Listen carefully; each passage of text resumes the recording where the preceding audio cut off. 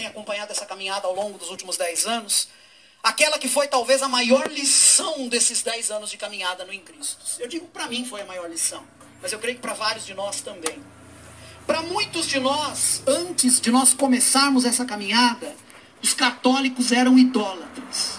Eram adoradores de Maria, entre aspas, não é? Era como nós falávamos. Era assim que muitos de nós víamos os nossos irmãos. A tal ponto que para muitos de nós era impensável chamar os católicos de irmãos. A caminhada mostrou o tamanho gigantesco do nosso equívoco, do nosso engano. Estou falando em nome dos evangélicos, especialmente da minha experiência. Agora, gente, nós aprendemos que a gente estava errado da maneira mais doce possível. Entendem isso? Há várias maneiras de se aprender. Há maneiras duras de se aprender. Não é? Há maneiras difíceis de se aprender. Nós fomos presenteados no em Cristo. Porque nós fomos, nós aprendemos da forma mais doce possível. Vendo as lágrimas do nosso irmão em oração, ali do lado um evangélico com um católico do lado, vendo que aquele católico chorava com mais facilidade diante de Deus do que ele mesmo. Aprendendo não de forma intelectual apenas, uma preleção, mas pela vivência direta.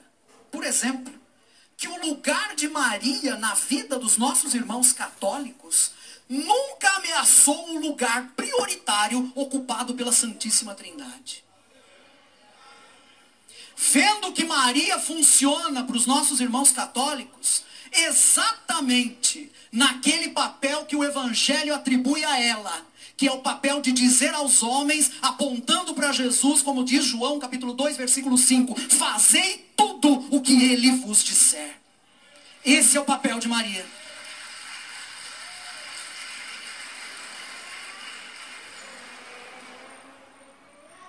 perdi a conta de quantas vezes falei isso aqui.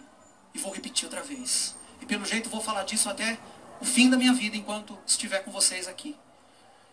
Quem me conhece bem sabe qual é o momento que me vem à memória quando eu falo sobre isso.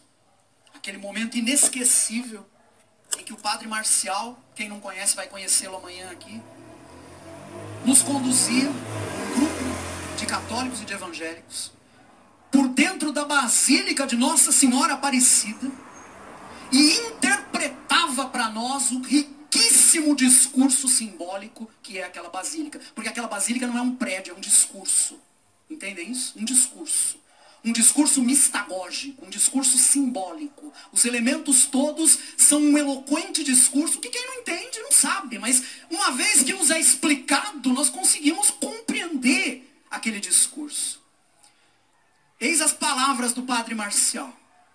Primeiro ele começou se referindo a Maria do jeito que Lutero se referia a Maria. Isso para um evangélico já tem uma importância, né? Saber que o padre está falando de Maria usando uma frase luterana. Lutero chamava Maria de a primeira discípula de Jesus Cristo. O padre Marcial nos disse naquele dia, onde Maria está na igreja? Imagine, gente, quem conhece Basílica de Aparecida vai imaginar, nós estamos dentro da Basílica.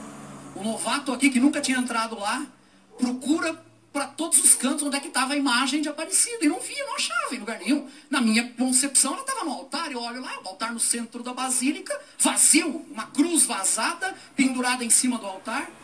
Eu queria saber onde é que estava a imagem de Nossa Senhora Aparecida. E o Padre Marcial re responde, onde Maria está na igreja? Como primeira discípula, Maria está na da igreja, a mais bem-aventurada entre as mulheres da Bíblia, olhando para o altar no centro onde está Cristo. É esse o lugar de Maria na igreja. Essas não são palavras de um evangélico, são palavras de um padre católico, expressando a doutrina católica sobre Maria. Nós não sabíamos disso. Por isso não entendíamos os católicos. Por isso não compreendíamos a devoção mariana, porque não conseguimos olhar pela perspectiva correta. Para muitos de nós, antes, os católicos eram aqueles que nunca liam a Bíblia. Era assim que os evangélicos pensavam. Que surpresa nossa ao vermos que em qualquer missa se leem mais porções da Escritura do que em muitos dos nossos cultos evangélicos.